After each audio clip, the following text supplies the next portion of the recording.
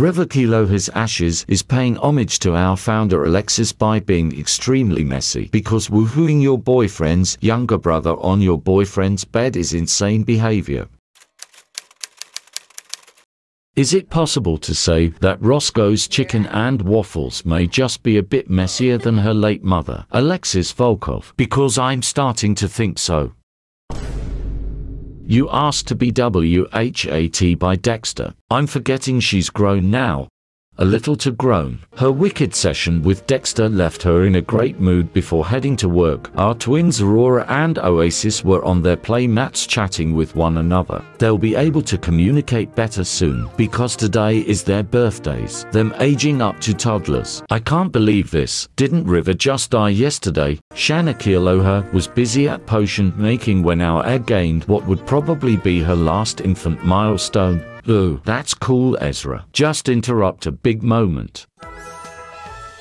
How cute. Aurora just gained the first word milestone, and I don't want to see any fuckery from you, Oasis. Look at Sage being excited for his sister. Don't forget that she has more infant milestones than you did. Autumn and Shanna were hoping that at least one of their twins would gain the first steps milestones, and by Autumn and Shanna, I mean me. I am convinced that this milestone is literally impossible to get. Autumn was so upset that these precious infant days had come to an end. She did anything to have her daughters be this small and cuddly for just one more day, but she was excited to get back to working more and for them to have some independence of their own. Meanwhile, Shanna was gonna try to put Oasis in a back carrier as she worked on potions Oh, anyways, one thing Autumn wanted to do was try nursing for the last time, but to her disappointment, Aurora wasn't interested. How you gonna say no to Cindy's? Whatever girl, let's try with Oasis. Unlike her twin sister, she latched onto her mama with ease. I can sense that Oasis may enjoy one-upping her older sister.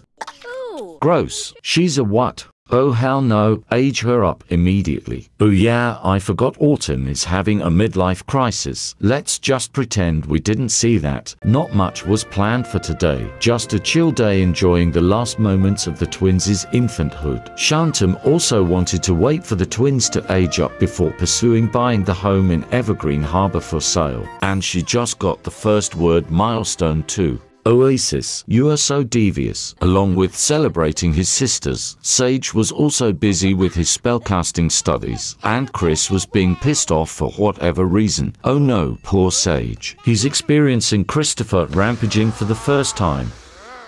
Oh my god, he's so unbothered, just minding his own business and playing with his sisters. Rock and Roll got back home from work, sweaty, stinky, and pissed off at herself for what she did with Dexter earlier for the second time. On top of that, she just wasn't feeling well. But Autumn and Shanna certainly were upstairs. I have a feeling you'll be entertaining your sisters a lot in the coming years, Sage. Meanwhile, the Volkovs had a visitor.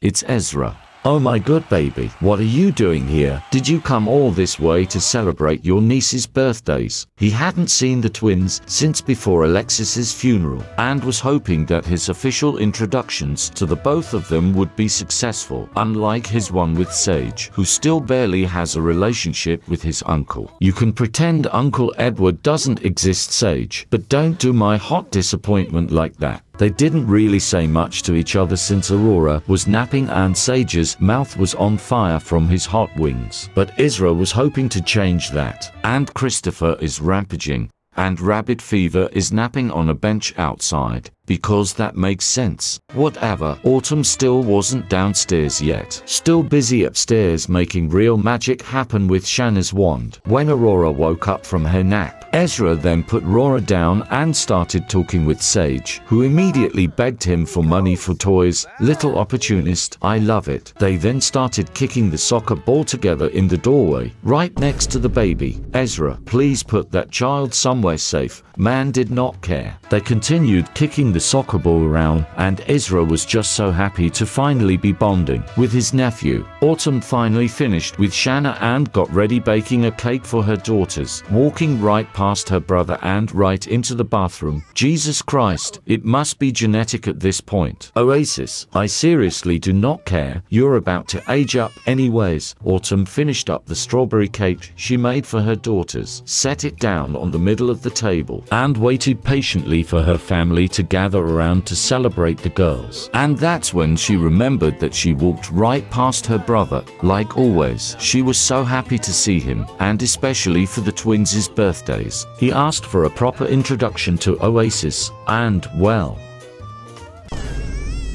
why do all of Autumn's children hate Ezra? At least Aurora tolerated you. Alright, time to age the twins up. And Oasis is still crying. It fills my heart with joy. Since Aurora was born first, she'd blow out the candles first.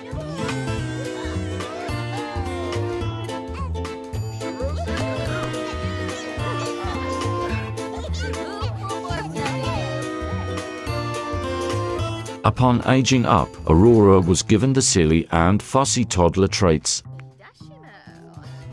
And now, Oasis, now quit crying and let your mother hold you.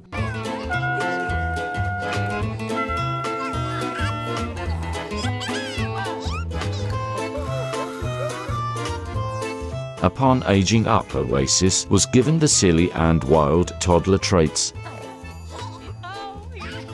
Oh my god, Alexis and Jacob sent gifts to Oasis from beyond the grave. Alexis is still with us, and Zayden, and Edward, and Sawyer. Where's Aurora's gift? Wow, that cake looks fucking amazing. Alright, time to go into CS and see what they look like. Aurora's birthmarks are really making a statement. I still see an even mix of Autumn and Shanna. I know she's going to turn out so cute when she's older. And Oasis, again, is her mama Autumn's twin. I don't see a drop of Shanna, except the hair. I gave them a quick makeover, and I was very pleased with how they turned out. So cute. Yes, the infant days were now over, and Autumn wasn't ready to let them go. But luckily for her, it seems like there will soon be another infant joining the Volkov household.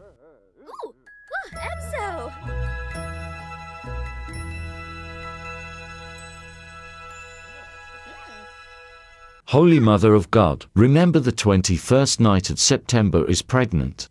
But wait a second, she woohooed with her boyfriend Zayden and his brother Dexter within just a few hours of each other. Whose baby is robot carrying?